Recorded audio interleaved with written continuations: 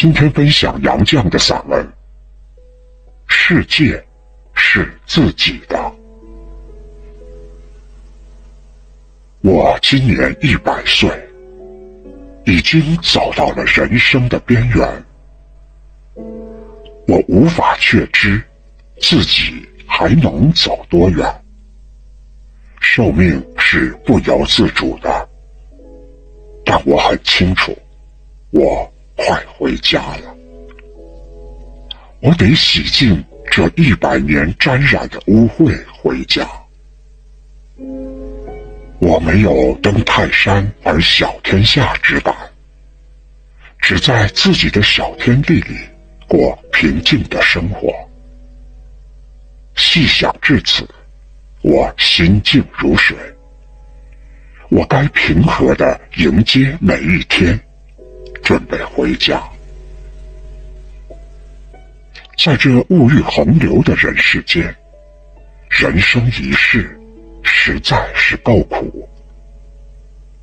你存心做一个与世无争的老实人吧，人家就利用你，欺侮你；你稍有才德品貌，人家就嫉妒你，排挤你；你大度退让。人家就侵犯你、损害你。你要不与人争，就得与世无求，同时还要维持实力，准备斗争。你要和别人和平共处，就先得和他们周旋，还得准备随时吃亏。少年贪玩。青年迷恋爱情，壮年积极于成名成家，暮年自安于自欺欺人。人寿几何？顽铁能炼成的精金能有多少？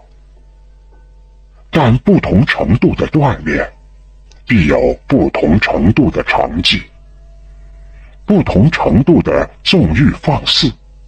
必积下不同程度的顽劣。上苍不会让所有幸福集中到某个人身上。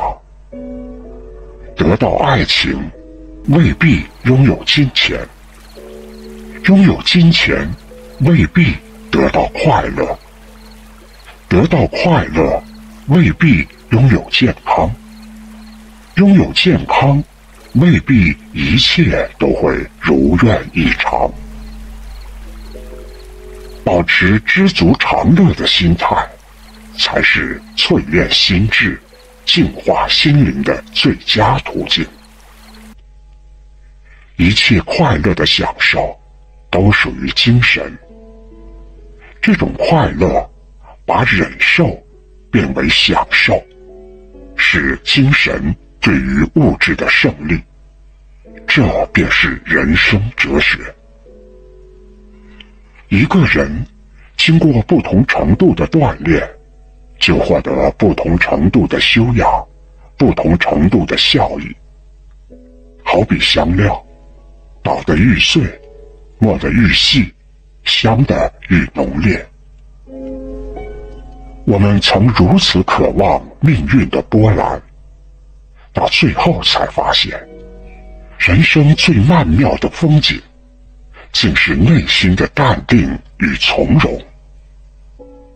我们曾如此期盼外界的认可，到最后才知道，世界是自己的，与他人毫无关系。